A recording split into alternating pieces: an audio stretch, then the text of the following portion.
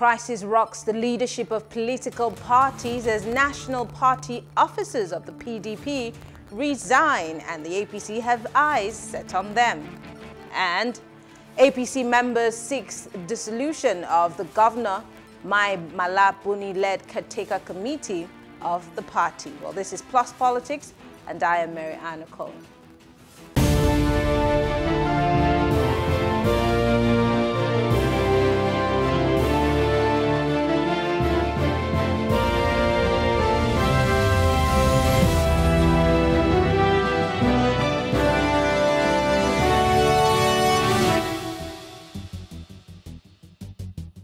Seven deputy national officers made up of the deputy national publicity secretary, the deputy legal advisor, the deputy women leader, amongst others, resigned their positions, citing bad treatment. Uh, the PDP national chairman, um, they were saying that this was the treatment they got from the national chairman. Now, they also cited financial indiscipline and poor leadership as reasons for their resignation. This latest event may fuel the crisis rocking the leadership of the PDP. Well, joining us to discuss this is a former special advisor to the River State Governor, Ponabo Inko Tariah. And of course, we will be having join us um, the former publicity secretary of the People's Democratic Party in River State and the APC chieftain, um, Ugochukwu Nzekwe. Uh, but thank you very much for joining us, Mr. Inko Tariah. Thank you. Good evening, Marianne, and good evening, viewers. It's interesting to see that, um, you know, we were just recently talking about the crisis rocking the APC, but it seems like the PDP is not left out on, on this drama. I mean, the PDP has lost soldiers, they've lost um, governors, they've lost senators. Now they're losing mem strong members of their party, and they're citing bad treatment, um, you know, by the, the chairman of the party. Um, do you have any idea what exactly these people are referring to? Well, first, um, one is not really surprised. I'm not taken aback because there have been precursory signs of this to happen and many more to happen. In the past, uh, the leadership has been accused of high-handedness and uh, collusion with some governors. And more so, you will agree with me that nobody wants to be treated with this day.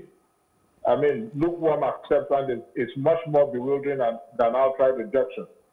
And they have accused, they planned their resignation on uh, the disdain treatment they received from Prince Uche Secondus. Uh, that being the case, but I believe, well, my conviction is that it has to do with pecuniary reasons. When they say, they rightly said so too, but not necessarily on altruistic reasons. I believe that they carried out their, their act, or they resigned simply because they've not been carried along financially. They probably must have been sidelined, and uh, they must have had a judge preceding the resignation, which did not yield anything fruitful or reasonable, uh, according to them. So they had to resign rather than being sidelined. Uh, this also tells you that the party is in crisis, just like the APC. The party is in crisis and it's also, it has also threatened the party's ability to take over come 2023. And, and, and, talking about financial recklessness, because this is us, this are some of the things that were cited in their claims. That is, that is what they alleged, financial yes, recklessness. Yes, yeah. and you're saying that these people may probably have not been carried along.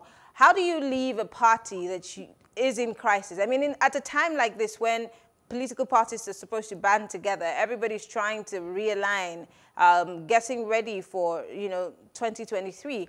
Uh, you, how do you leave the PDP for the APC, who's also having its own internal crisis? Um, I mean, what's the sense in that? Again, as the PDP um, is seen depleting every single day, is there any hope for the PDP in 2023? Well, I just told you, I said the chances of the PDP ousting the APC in 2003 is quite slim, uh, given the defection the, uh, that has taken place in recent times. Nevertheless, talking of defecting from the PDP to the APC, just as some members are defecting to the APC, some members are also defecting to the PDP. Like I said yesterday, if I have to jog your memory, your brain a little, I told you, I said most of these politicians don't have ideologies. They are all there. They're in politics for gastric reasons. They're in politics just to further or line their pockets. They are not in politics for any Nigerian They are not in politics to um, smoothing out the rats in the, in the society. They're in politics for their own personal gain. And so when they leave the APC, PDP for the APC, probably they must have reached accommodation with members of the APC um, so for one appointment or the other. And that is exactly what has happened. So nobody should be deluded thinking that it's for altruistic reasons, it's for autocentric reasons, not for altruistic reasons. Um, are the party succeeds from 2023, it's a different thing altogether. When they get into that party, of course, they'll work with the APC to ensure the APC perpetuates itself in office.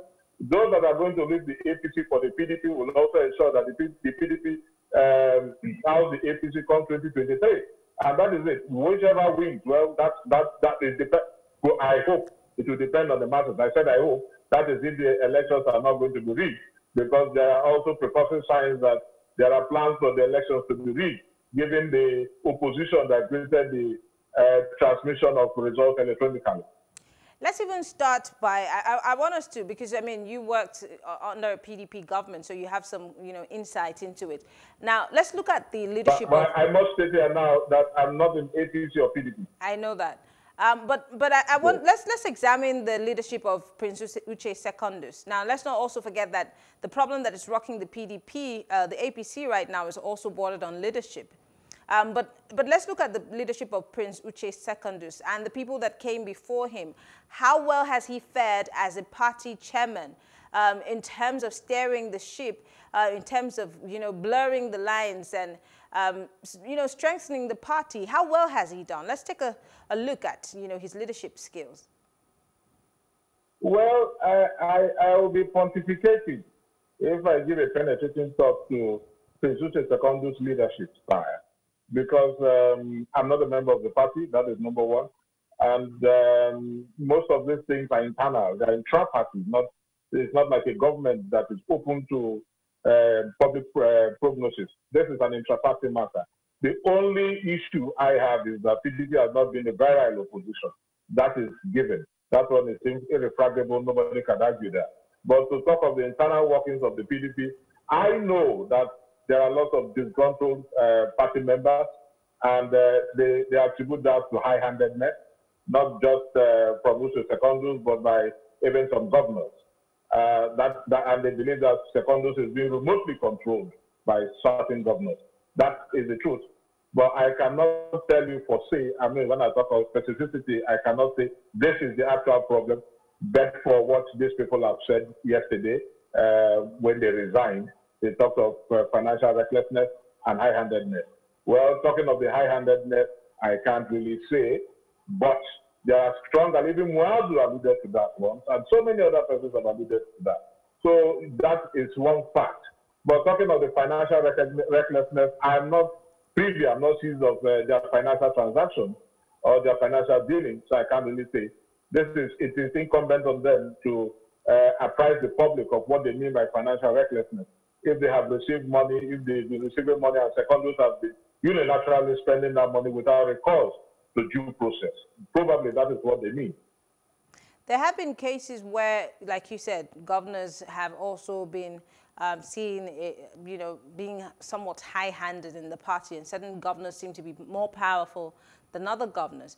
Um, some of the reasons why um, the governor of Cross River State said he left the party for the APC was that he was not allowed to be the leader of the party in his state and that, you know, a certain governor in another state was um, causing trouble within the party in his state. So you see um, the case of high-handedness. Um, and if governors of states are complaining about the fact that they're not allowed to run the structure of the party in their states, uh, um, again, the PDP is supposed to be playing a strong opposition to the APC, as we saw when the PDP was in power, how the APC was able to run them out of government. And we're not even advocating for anything, but we're just saying well, the duty of the PDP seems to, be have, seems to have been abdicated one way or the other. Should this also be heaped on the head of the party chairman, or is it a, a blame that should be shared by all and sundry?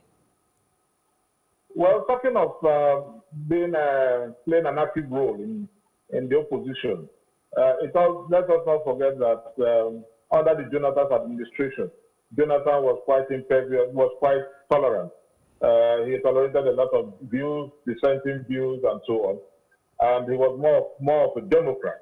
But in this particular instance, you find out that um, there are so many attempts, relentless attempts, to muzzle the press and to change the freedom of information and expression.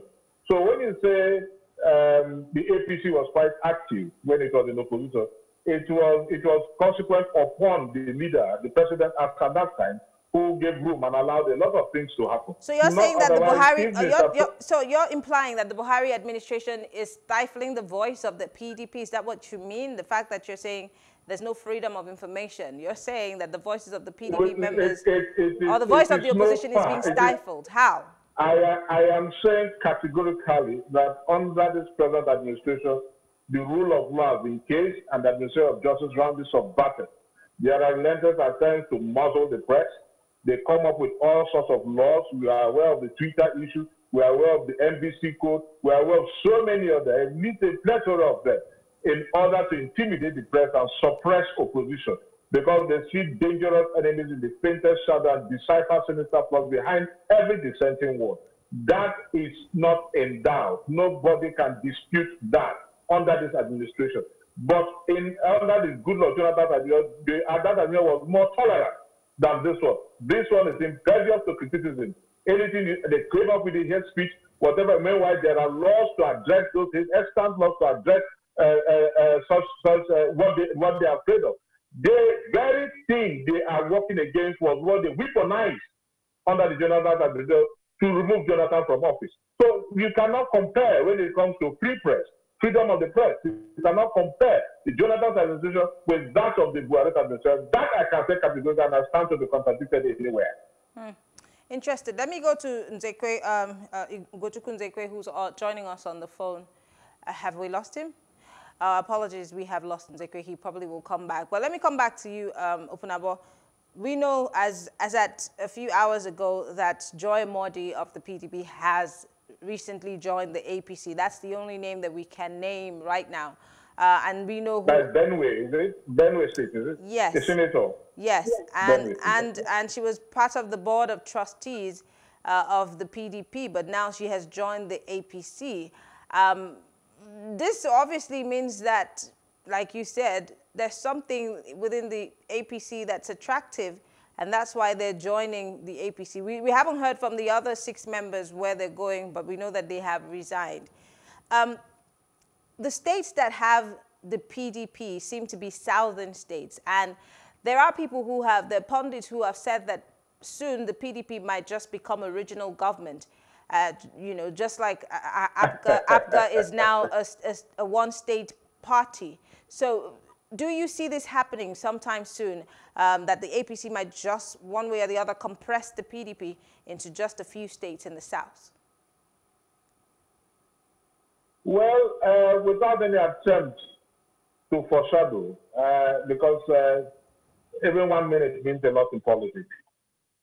One second a lot of people I mentioned yesterday, a lot of people that have defected to the, the APC today might go back to the PDP if their terms, if their conditions are not met.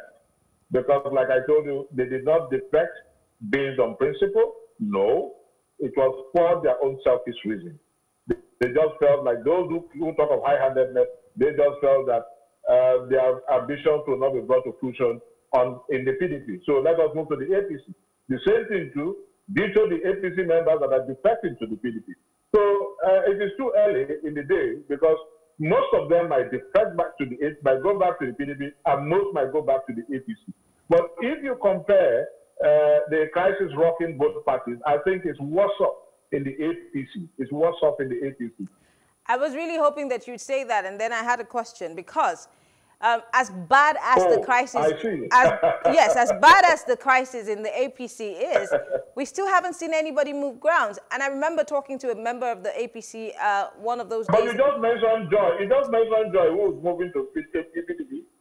Then, just hold on. And, and, and Otom moved from APC to PDP. Yeah, well, but just Joy, sorry, moving from PDP. Otom moved from APC to PDP. No, no, no. Joy moved from PDP to the APC. APC, what does Otom? Well, just hold on. I'm going somewhere. As bad as the crisis in the APC is, you, we've hardly seen anybody decide to move to the PDP. Now, I remember when I was talking to a member, a high-ranking member of the APC, and he asked a simple question to the opposing side, the person who was representing the PDP, that what, would, what does the PDP have to offer?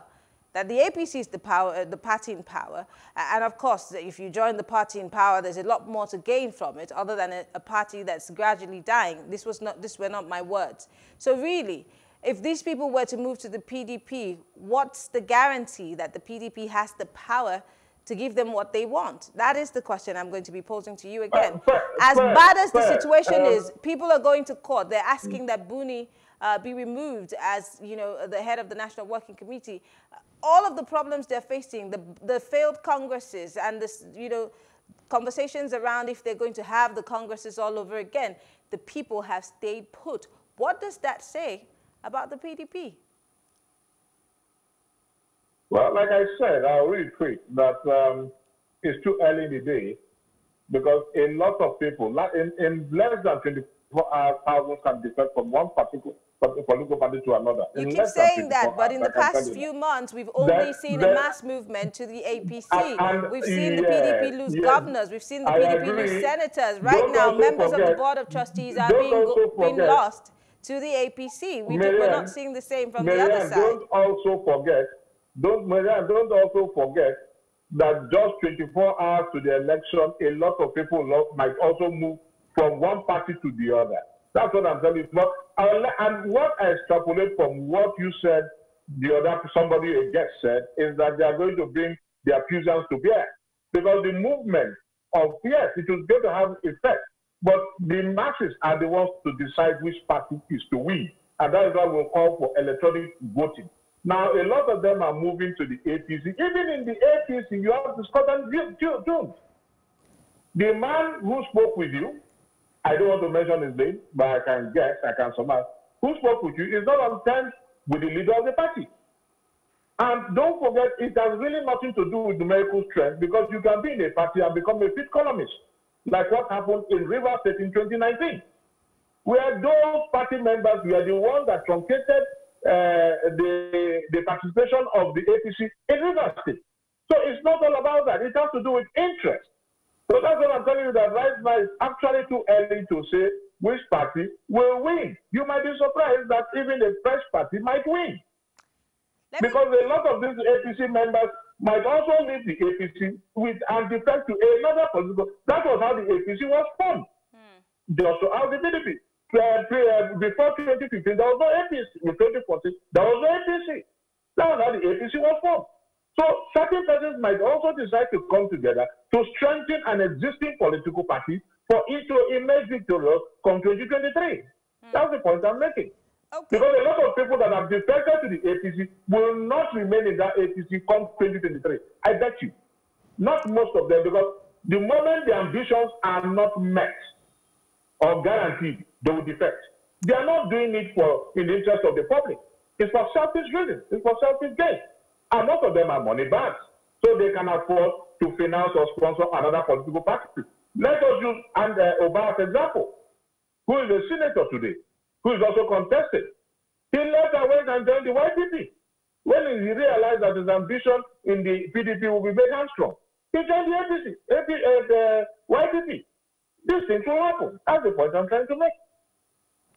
Let's talk about, now that we're talking about other political parties, uh, the former um, chairman of INEC, um, Professor Tahiru Jega, had a few words for Nigerians, and he did speak about the fact that um, Nigerians should, you know, dump the APC and the PDP um, because they have not served us, you know, since we decided to go down this road of democracy. And he also sl slid in uh, the fact that he was also um, becoming a member of a certain political party that might not have been as big as the PDP and the APC. So my question now is, with all of the infighting in the big parties, do we see smaller parties emerging or like you said, maybe forming another front like the, you know, the, the, the APC did. Um, do we see most of these politicians also moving to those smaller parties and trying to see if they can run? Uh, because I asked a question yesterday, all of these parties, whether big or small, do they have um, ideologies? What are those ideologies? What do they stand for?